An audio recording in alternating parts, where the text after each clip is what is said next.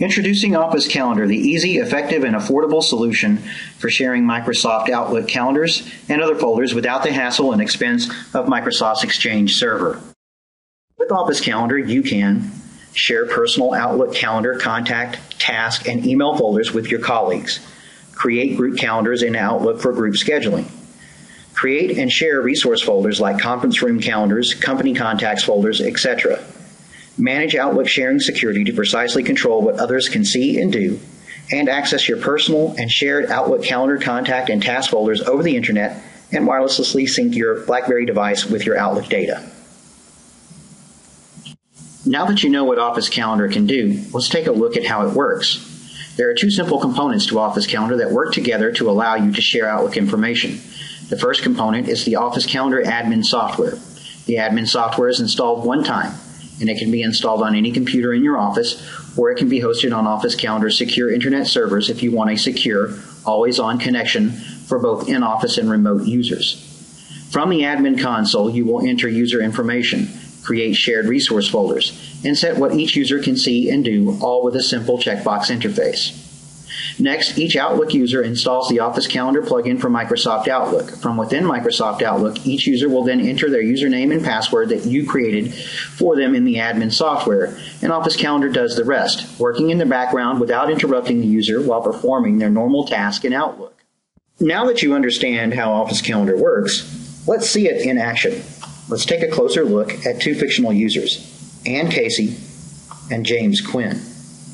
We'll start with Ann Casey. Once each user has published their shared Outlook data, shared folders are added to each person's default folder list. Here we can see that below Ann's calendar, three shared calendar folders have been added. One for James Quinn, one for a firm shared trial calendar, and one for scheduling the firm's conference room.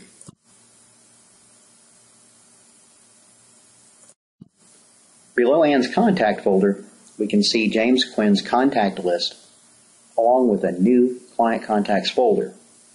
These are the shared contact folders that Office Calendar added to Ann's copy of Outlook.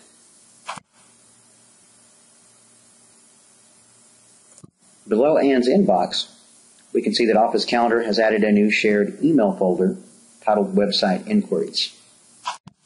Finally, as we scroll down the Outlook folder list, just below Ann's task folder, we can see that Office Calendar has added James Quinn's task folder to Ann's copy of Outlook.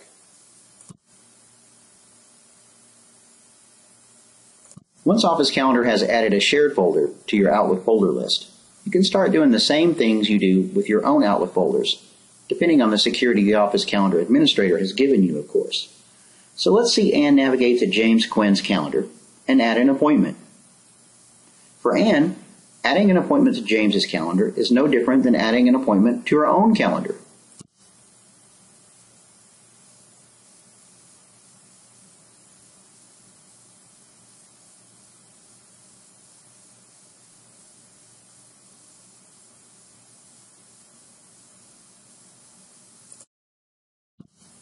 Now let's see what happens within James's copy of Microsoft Outlook.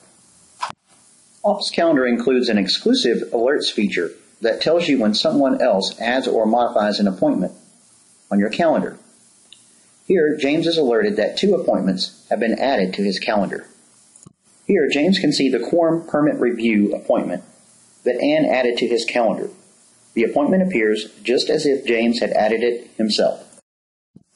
Now let's see how James can interact with shared contact folders in Outlook using Office Calendar. As we mentioned earlier, we've set up a client contacts folder that both James and Ann are sharing. Working with shared contact folders is no different than working with your own contact records. Let's have James add a new contact to the shared client contacts folder.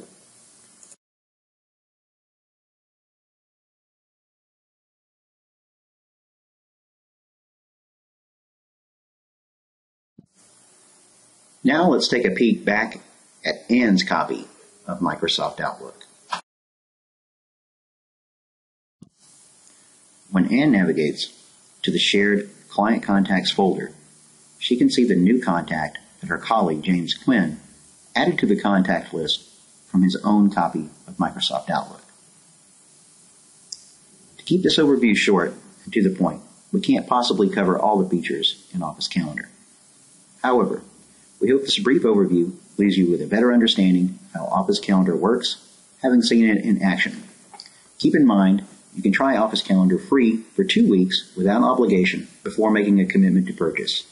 To sign up for the free trial, visit our website at www.officecalendar.com.